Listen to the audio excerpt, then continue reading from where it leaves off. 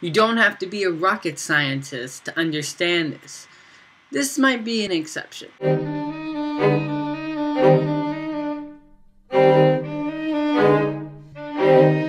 Alright, you guys, without spoiling anything, here's what I'll say. In Interstellar, we follow Matthew McConaughey, who was boosted up into orbit to look for a new habitable planet because Earth is dying. Now, going into Interstellar, you guys, I was so excited. This was my most anticipated movie of the year, you guys.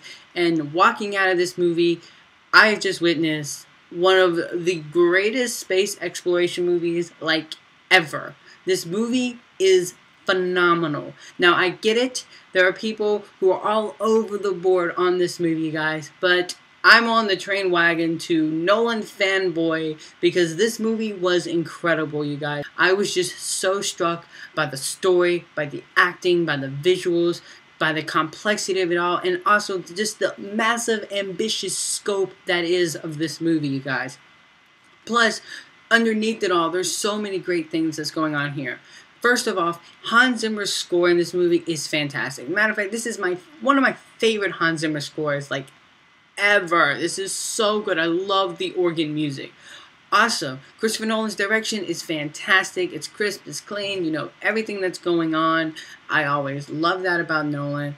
Um, the acting is phenomenal. Matthew McConaughey, Anne Hathaway, Michael Keaton, Jessica Chastain all give great phenomenal performances, but I don't know who the actress is who plays the younger version of Jessica Chastain. She was my favorite character, and she knocks it out of the park in this movie. She was just phenomenal. She had me crying in moments. She had me just loved loved her character in this film. Now there is this one part of the movie that might be a little too much for some people. For me, it was like diving into heaven. I was just so into this moment. You know, the whole final act delves into some serious sci-fi aspects and for some it's going to lead to them driving off into confusion land.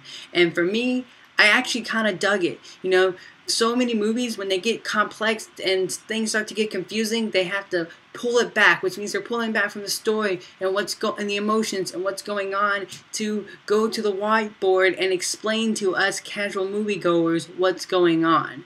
So you know that that phrase, you don't have to be a rocket scientist to like this or understand this or something like that.